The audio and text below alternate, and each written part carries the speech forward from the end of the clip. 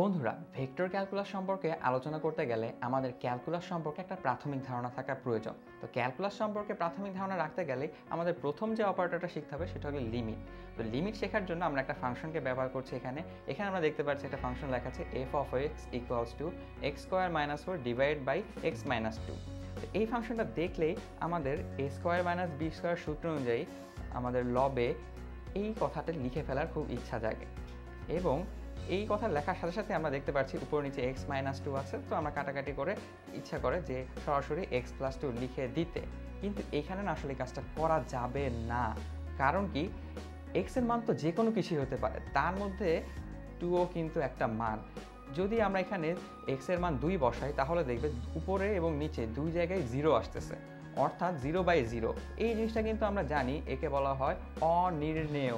অর্থাৎ এর মান নির্ণয় করা সম্ভব নয়। তো এখানে আমরা সরাসরি X minus X minus two divide by X minus two one লিখে দিতে পারি না। যার কারণে আমাদের লিমিটেড ধারণা সূত্রপাত। এখানে আমরা দেখি টু যেহেতু আমরা হচ্ছে না, তো টু এর কাছাকাছি কোন মানের জন্য এফ অফ এক্সের মানগুলো কীরকম হয় সেটা দেখি। এখানে দেখতে পাচ্ছি এক্সের মান যদি ওয়ান পয়েন্ট নাইন হয়, তাহলে এফ অফ এক্সের মান হয় থ্রি পয়েন্ট নাইন আবার এক্সের মান যদি ওয়ান পয়েন্ট নাইন নাইন হয়, তাহলে এফ অফ এক্সের মান দাঁড়ায় থ্রি পয়েন্ট নাইন নাইন আবার এক্সের মান যদি one point nine nine nine হয় এফ অফ এক্সের মান হয়ে যায় three point nine nine nine অর্থাৎ আমরা দুয়ের যত কাছাকাছি যাচ্ছি ততই এফ অফ এক্সের মান চারের কাছাকাছি যাওয়ার চেষ্টা করছে। আমরা যদি দুয়ের থেকে বড় সংখ্যা নিয়ে দুয়ের দিকে যাওয়ার চেষ্টা করি, তবুও একই ফলাফলই দেখব। কীরকম? দেখো two point one one one নিলে আমরা এফ অফ এক্সের মান পাই four point one one one আবার যদি টু পয়েন্ট ওয়ান ওয়ান নিই এক্সের মান, তাহলে এফ অফ এক্সের মান পাই ফোর পয়েন্ট ওয়ান ওয়ান আবার যদি টু পয়েন্ট জিরো ওয়ান নিই, যা কিনা টু এর খুবই কাছাকাছি, সেই মানটার জন্য এফ অফ এক্সের মান আসে ফোর পয়েন্ট জিরো ওয়ান অর্থাৎ আমরা এক্সের যত এক্সের মান যত দুইয়ের কাছে যাওয়ার চেষ্টা করছে এফ অফ এক্সের মান ঠিক ততই চারের কাছে যাওয়ার চেষ্টা করছে, কিন্তু কখনোই কিন্তু চার হচ্ছে না। অর্থাৎ এই না হতে চাওয়াটাই হলো তার সীমা, সে কখনোই চার হতে পারবে না। তাহলে আমরা এই জিনিসটাকে এইভাবে লিখি গণিতের ভাষায় limit X tends to two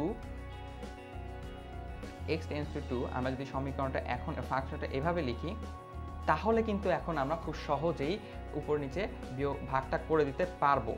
কেননা আমরা বলেই দিচ্ছি এক্স টেন্স টু টু অর্থাৎ এক্স দুইয়ের কাছে যাবে কিন্তু কখনোই দুই হবে না। তাই যদি দুই না হয়, তাহলে কখনোই উপর নিচে জিরো আসার সম্ভাবনা নেই।